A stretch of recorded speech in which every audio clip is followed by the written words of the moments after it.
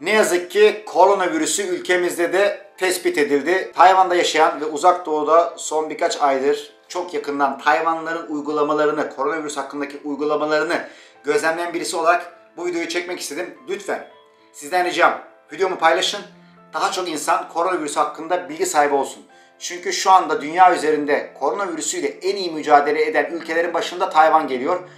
Bu yüzden de bu videoda paylaşacaklarım çok önemli. Lütfen iyi dinleyin. İnsanlar kendilerini otogara atmışlar ve kimsede maske yok. Kalabalık yerlere girdiğiniz zaman kesin ve kesin maskenizi takacaksınız. Bakın burada çok güzel bir tane maske var. Bu şekilde çıkıyorsunuz.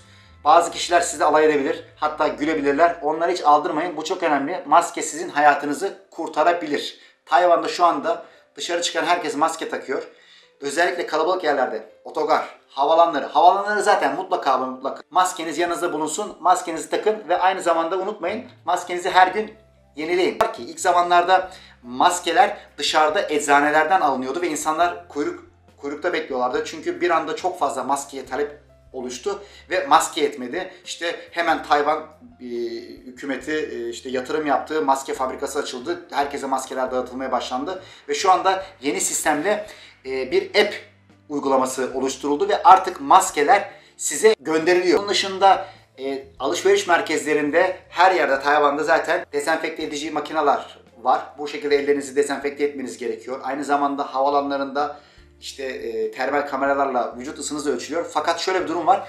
Vücut ısınız ölçülüyor ama sizde ateş olmayıp vücudunuzda virüs, koronavirüsü bulunma ihtimali var. Bu da belli bir süre geçtikten sonra ortaya çıkıyor. Sadece kameraların yakaladığı kişiler normalde ateşi olan, hastalığa yakalanmış olan veya işte bu semptomları gösteren kişiler onları kameralar yakalıyor. Onun dışındakileri. Şimdi size bazı rakamlar vereceğim ve bu rakamları çok iyi dinleyin çünkü bu rakamlarda virüsü neden küçümsememiz gerektiğini anlayacaksınız. Şubat'ın 22'sinde İtalya'da 11 kişide gözüken koronavirüsü 11 Mart'a gelindiği gün 12.462 kişiye fırlamış. Onun dışında bakın Almanya'da 1 Mart günü 57 kişi olan vaka sayısı 11 Mart'a gelindiği zaman 1908 kişiye fırlamış bulunuyor. Zaten virüs bu kadar etkili olmasa, bu kadar tehlikeli olmasa NBA oyuncularına bulaşmazdı ki NBA'de de görüldü. Aynı zamanda NBA maçları zaten şu anda ertelendi.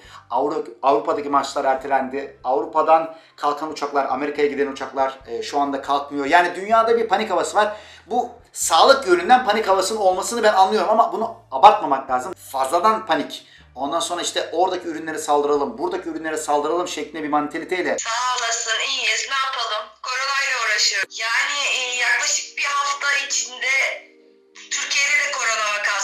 görüldüğü söylendi. E, bundan dolayı da işte önlem alıyor Milli Eğitim Bakanlığı. Okullar iki hafta boyunca tatil edildi. İnsanlar e, sürekli maske ve işte steril koruyucu falan arıyorlar. Hepsi tükenmiş. E, insanlar marketlere akın ettiler. Raflarda bitmiş. E, dolayısıyla da fiyatlar yükselmiş. Biz Tayvan'da işte atıyorum devlet kurumlarına girerken ellerimiz dezenfekte ediliyor, termal kameralar var. Ondan sonra maske takıyoruz. Bizde de var. Bizde de var önlemler tabii. Kurumda mesela eldiven dağıtıldı. Ondan sonra e, şey var, sterilize koruyucular falan tuvaletlere kondu. Evet. Ellerimizi dezenfekte ediyoruz. Çocuklar takıyor okulda e, öğretmenleri takın demiş. Takıyorlar onlar da. Bizde henüz öyle bir takma durumu yok. Türkiye'de de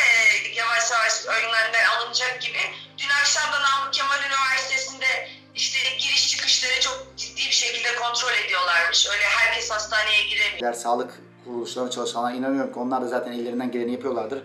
Ama bu tarz e, durumlarda tecrübesi olan ülkelerle e, bağlantıya geçmek, en azından işte görüntülü telefon olabilir, mailler olabilir bir şekilde e, tecrübesi olan kişilerle görüşmek çok önemli. Bu yüzden herhangi beni izleyen yetkililer varsa Tayvanlı yetkililerle bağlantıya geçip bu konuda bilgi alabilirler. Her ne kadar Tayvan e, Dünya Sağlık Örgütü tarafından üye olarak kabul edilmese de şu anda yapmış olduğu bu e, başarılı organizasyon, e, bu şekilde insanlara vermiş olduğu bilgiler, halktaki örgütlenme Tayvan'ı gerçekten alkış hak ettiğinin bir göstergesi. Bunu da paylaşmak istedim not olarak. Umarım bir an önce dünya koronavirüsünden kurtulur. Kimseye bulaşmaz. Bulaşan kişiler de bir an önce sağlıklarına kavuşurlar. Sizi seviyorum. Kanalıma destek verirsiniz.